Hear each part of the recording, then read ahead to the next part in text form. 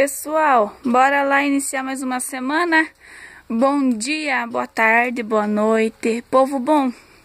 Eu vim atualizar vocês de como estão as coisas aí depois da geada.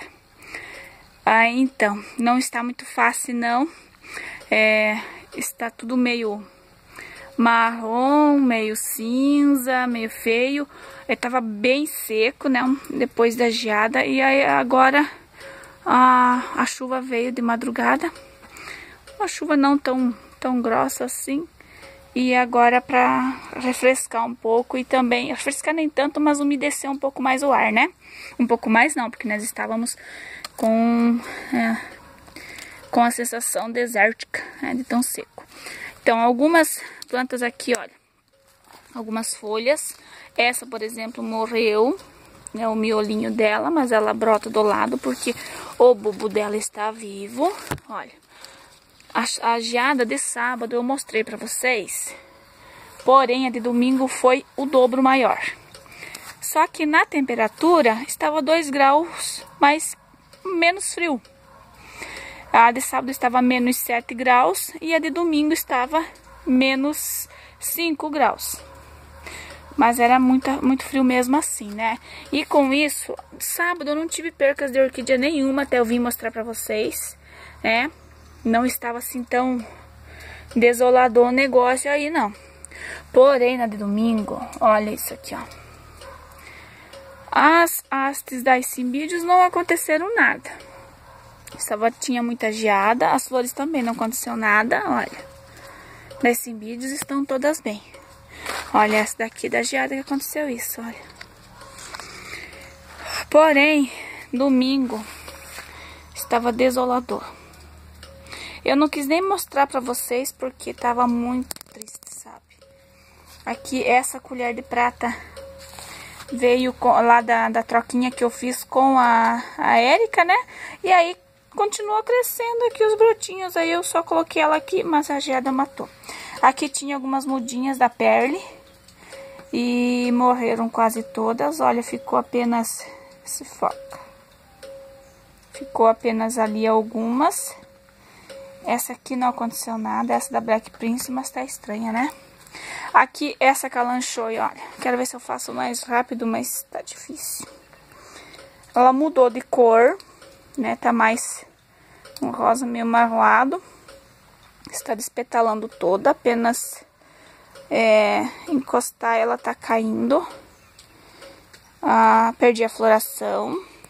Algumas orquídeas também, olha, essa daqui estava para florir. Linda, linda essa daqui, laranja. Perdi a floração. Provavelmente perdi a planta. Apesar de que esse bulbo aqui está bem, né? Então, só nós esperarmos que ele brote aqui.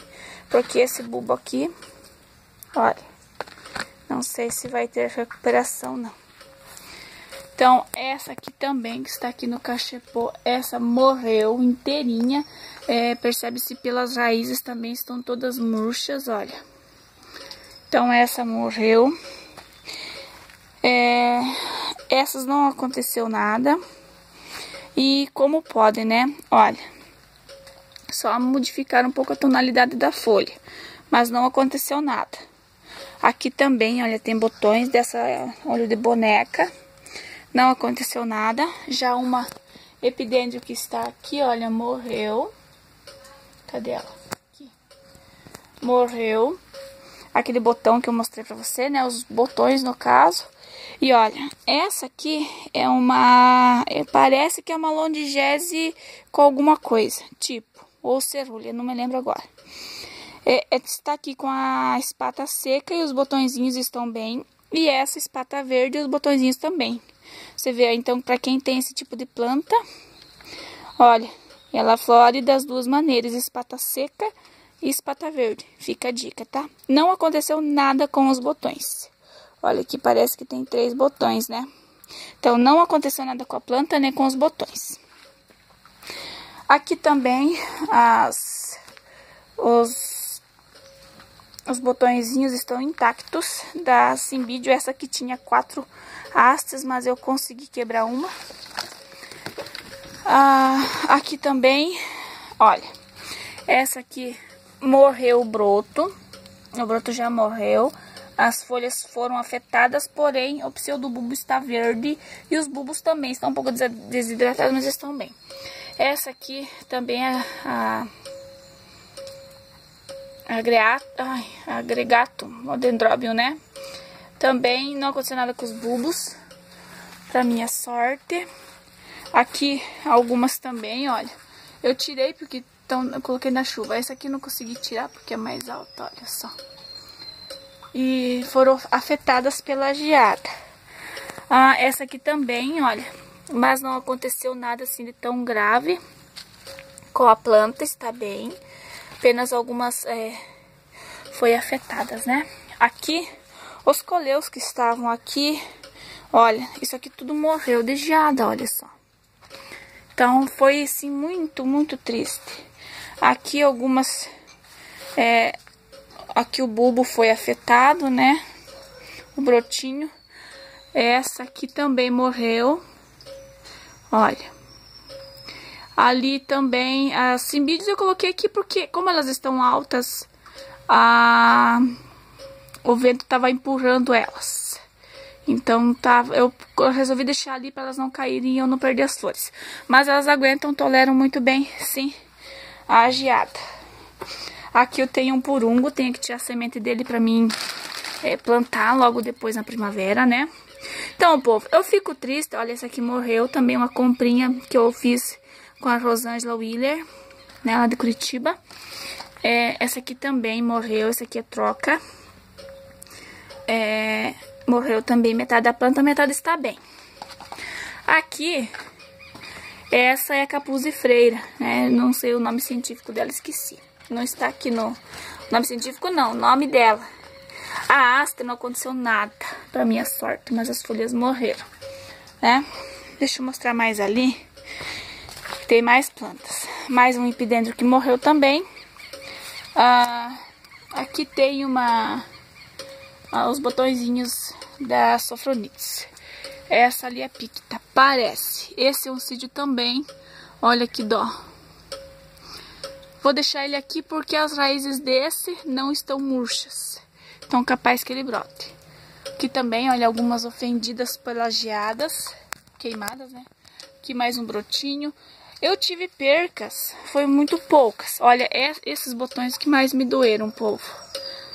Aqui, essa metistoglossa, olha, eu mostrava pra vocês a espata seca e ela enchendo. Incríveis, nove botões eu contei.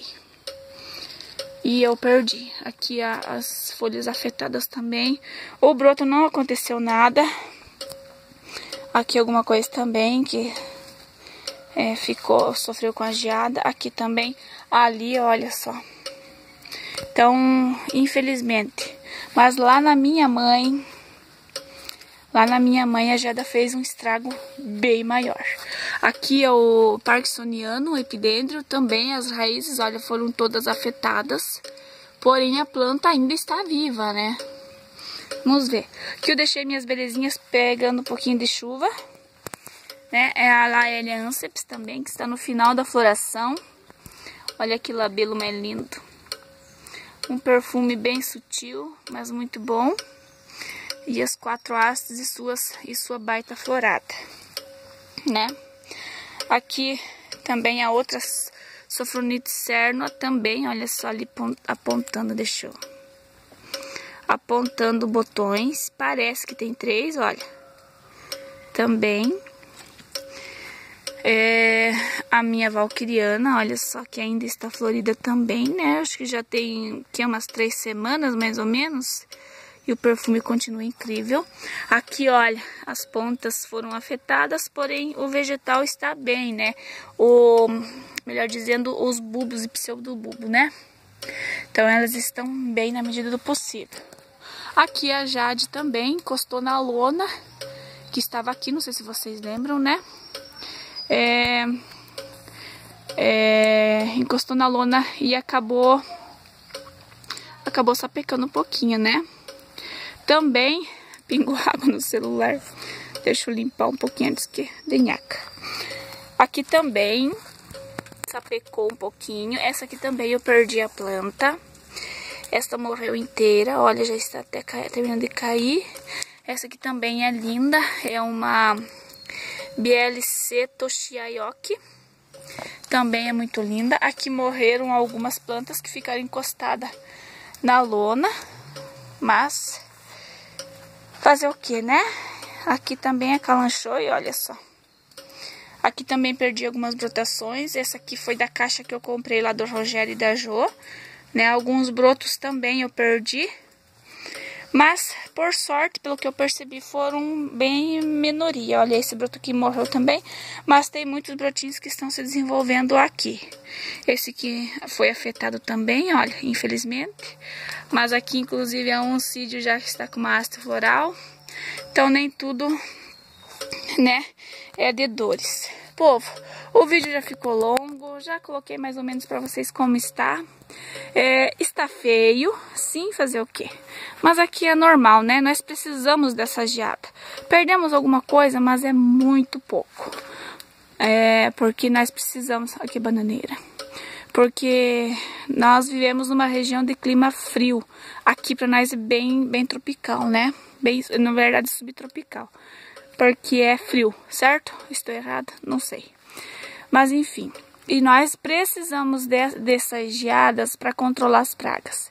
Eu já havia até explicado para vocês, né? E nós temos frutíferas que necessitam da quebra de dormência através do frio para produzir, né? É, aproveitando falar que agora eu lembrei, é, falar, comentaram, Hilda, mas você não faz nada para tua vaquinha, para os porcos, não faz nada. Povo, eles têm o abrigo deles, tá? Não se preocupem. Teve várias pessoas preocupadas aí com os meus animais. Cada um tem o seu lugar, tá? Não se preocupe. Eles, eles estão bem abrigados, tá?